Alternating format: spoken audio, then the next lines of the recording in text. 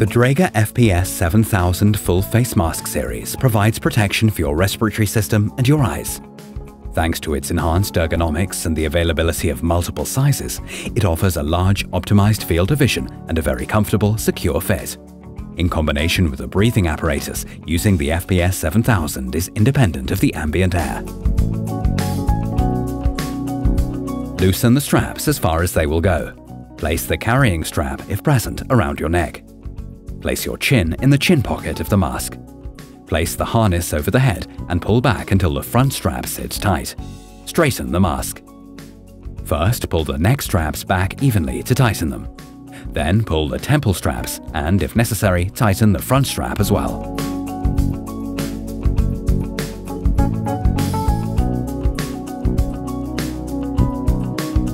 Close the front port of the mask with the palm of your hand and inhale until a negative pressure is generated. Hold your breath for a moment. The negative pressure should persist. Otherwise, tighten the straps further. Exhaled air must escape through the exhalation valve.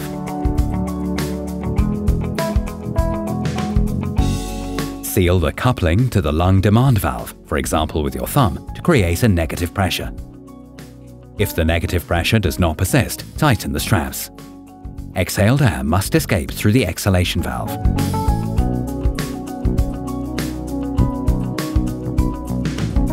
Close the cylinder valve and fully inhale until a negative pressure is generated. If the negative pressure does not persist, tighten the straps.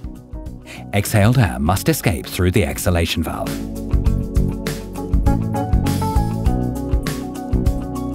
With RP mask, Press the right hose together and inhale. If the negative pressure does not persist, tighten the straps. Exhaled air must escape through the left hose into the system.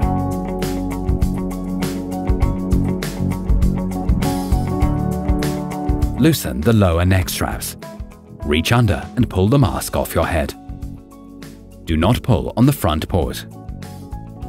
After use, the full face mask should be serviced and maintained according to the instructions for use.